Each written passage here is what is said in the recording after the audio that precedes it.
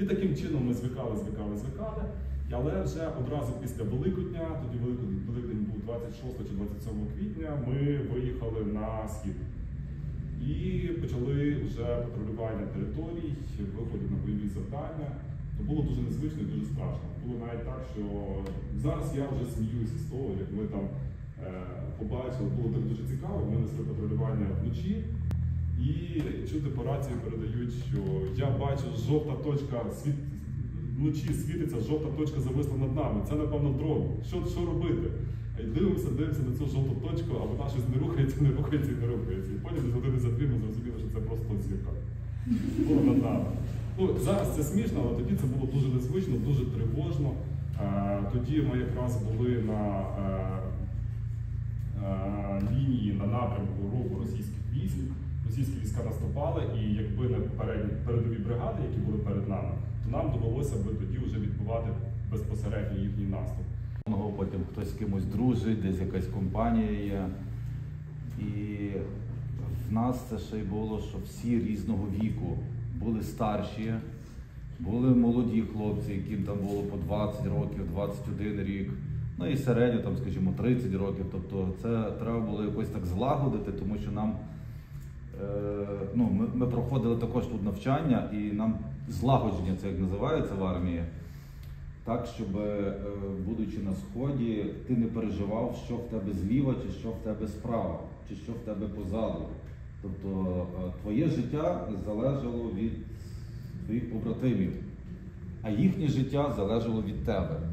Тому в армію ми не йшли шукати друзів, але ми знайшли там побратимів своїх, яким ми довіряли своє життя, і вони також довіряли своє життя нам. І це потім, будучи на сході, ну, нам дуже сильно допомагало. Ми дуже переживали один за одного, коли там в когось щось трапилося. Але в загальному ці перші дні, це так згадати, знаєте, можливо, десь цивільні, ну от сирена пролунала, ну собі цивільні ходять. Зараз в центр вийде, ну на, то, на це ніхто не звертає увагу. А в нас є тільки сирена, все. Ти все кидаєш і ти біжиш в бомбосховище. Неважливо, там в тебе обід, чи там в тебе час відпочинку, ну будь-що, чи якісь заняття, сирена, це означає, ти біжиш в бомбосховище. Ну, в день це ще так було якось терпимо, але коли вночі і тебе будять, і це Ще було. по три рази. І це по кілька разів бувало. Ну це трохи нервувало, але, але воно скажу. Ну, воно дає також своє. Це теж вироблення дисципліни. Наприклад, телефонами в нас не можна було користуватися. У нас були такі випадки, комбат прийшов, ну а хлопці сидять в телефонах.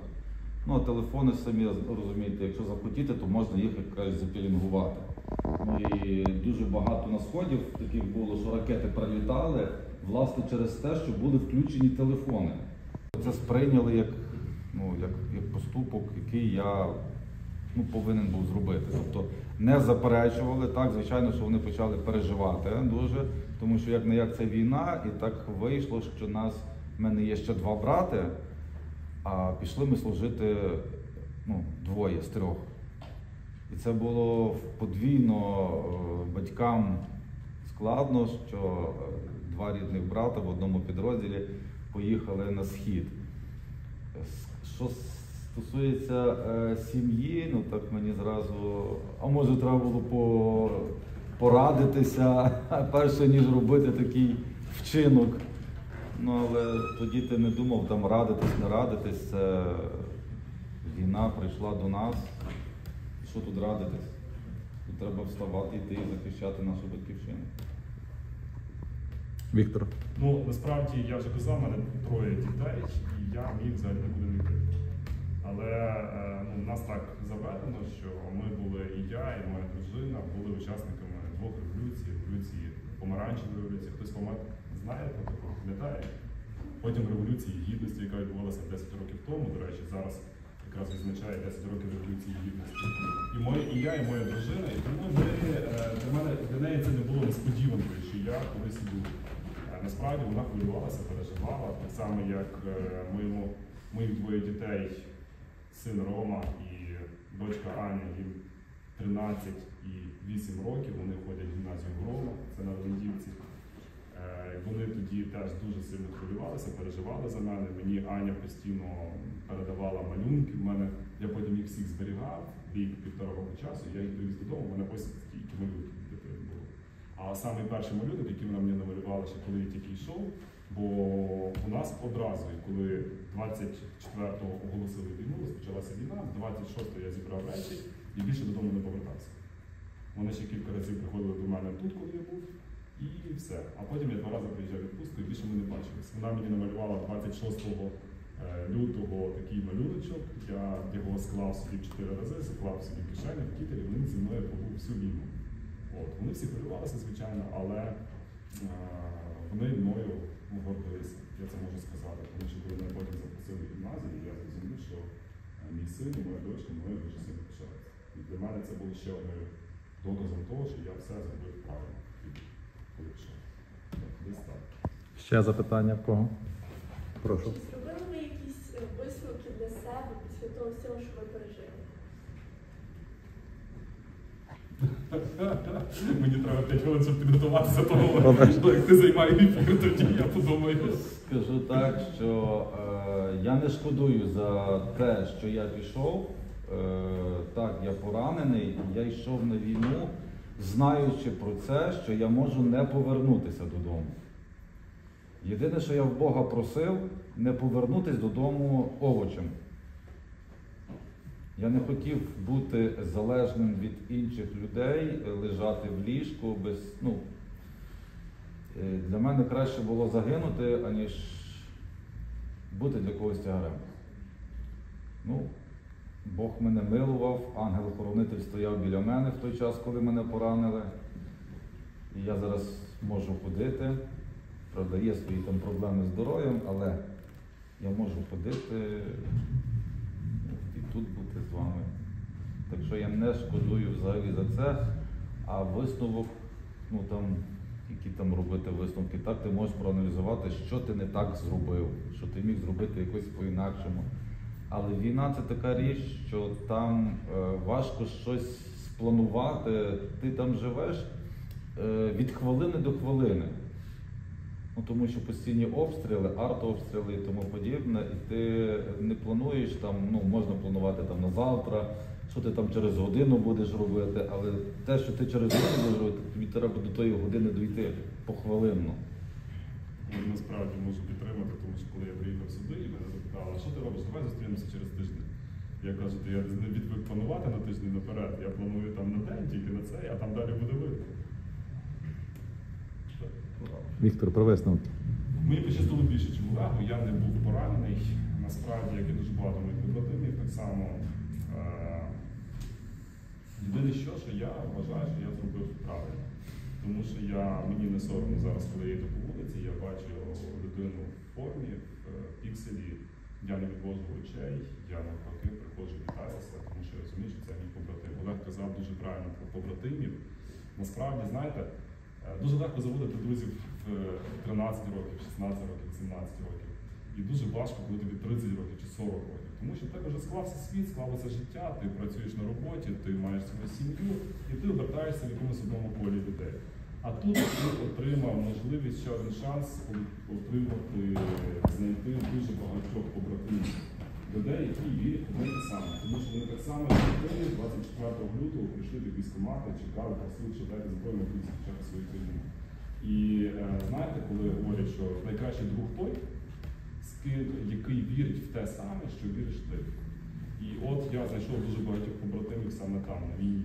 І з дуже багатьма з ними я звільнився, але ми постійно переписуємося, постійно, коли вони приїжджають сюди в відпустку, ми завжди рад, е, раді бачитися, раді обніматися. І це друга моя сім'я. Я її знайшов там на війні, як говорить Олег, абсолютно правильно. Тому е, війна це дуже погана річ, але єдине, що вона дає, вона дає можливість побачити, хто є хто, побачити тобі, самому, ким є ти, і дає можливість знайти дуже багатьох побратимів, друзів, які е, ну, я вірю, що ми не завжди будемо разом. Так. Ви навчаєтеся.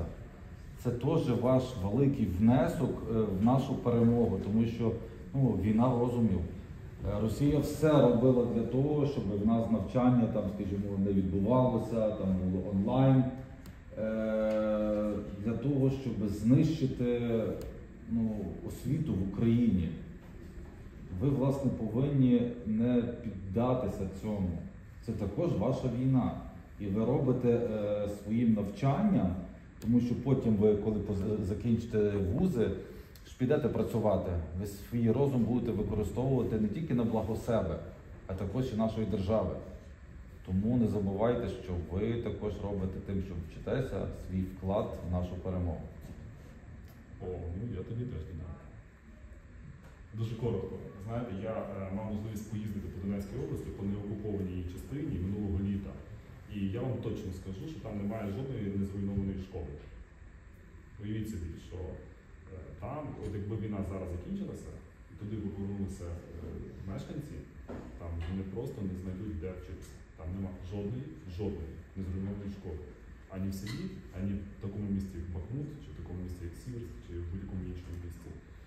І е, я от е, бачив, знаєте, от коли такі картинки, я теж їх бачив, ти приїжджаєш машиною, і виходять діти і махають прапорцями. І ми зупинялися, давали їм шоколадки, питалися, ну і що ви кажете, як ви? І знаєте, я вперше почув, це було влітку 22-го року, десь в липні. Е, Мама, е, дочка мамі говорить, дочці може років 7 чи 8, і вона каже, я так хочу до школи. І мене аж просто, я ніколи не чув, щоб дитина казала, я так хочу до школи. Каже, воно мені так набридло вже все, я хочу просто до школи. І я аж, мене аж мурашки по шкірі пішли, як треба, от е, півтора року, рік вже бойові дії ведуться, вони так кажуть, що вони аж вже так хочуть до школи. Тому в нас все дуже класно.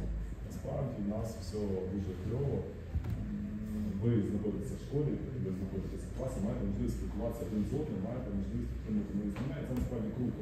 Це є така, знаєте, угода між військовими, між вашими батьками, сусідами, друзями, е, батьками, друзями ваших батьків і вами. Її ніхто не підписував, але само собою мається на увазі, що вони там зараз воюють, віддають своє, жертвують своїм часом, своїм життям для того, щоб ви заради майбутнього. А майбутнє це ви. Це ви майбутнє. Тому що якби е, вас би не було, то не було б сенсу там воювати. Тому все це заради вас, для вас. Тому добре, що ви є в нас.